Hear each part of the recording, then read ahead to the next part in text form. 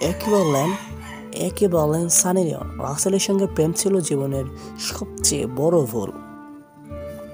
বলিউডের বর্তমান সবচেয়ে জনপ্রিয় তারকাদের একজন সানি লিওন পেশাগত জীবনে নীল সিনেমার জগতে কাজ করার পরে বলিউডেও কাজ করছেন তিনি। অভিনয় করছেন একাধিক সিনেমায়। বর্তমানে স্বামী ভেনিয়াল ওয়েবার ও তিন সন্তানকে নিয়ে সুখী সংসার কাটালেও এক সময় স্ট্যান্ড আপ কমেডিয়ান রাসেল পিটার্সের সঙ্গে সম্পর্কে ছিলেন সানি।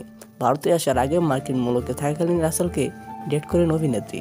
সম্পর্ক ভাঙনের পর সানিকে নিয়ে নিজে কমেডি শোতে প্রায় ঠাট্টা মস্করা করে থাকেন রাসেল।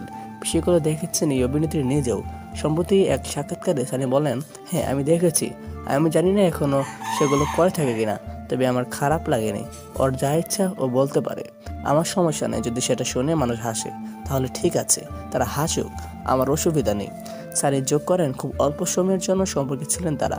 অভিনেত্রীর ভাষ্য, এই সম্পর্কে জয়নটা আমার বড় ভুল ছিল। স্যারি বললেন, আমরা খুব ভালো বন্ধু ছিলাম, একসঙ্গে অনেক মজা করেছি, আমি মার্কিন যুক্তরাষ্ট্রে অনেক অনেক জায়গায় গিয়েছি, যেখানে ও থাকতো নিজের শোর কারণে।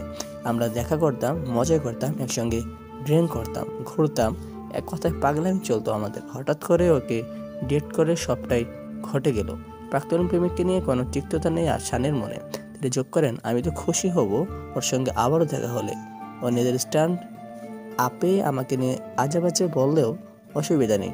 প্লে বয় ম্যাগাজিনের প্রেসিডেন্ট ম্যাট এরিসকনের সঙ্গে সম্পর্ক ভাঙার পর দীর্ঘদিনের বন্ধু কমেডিয়ান রাসেল পিটার্সকে ডেট করেন সানি।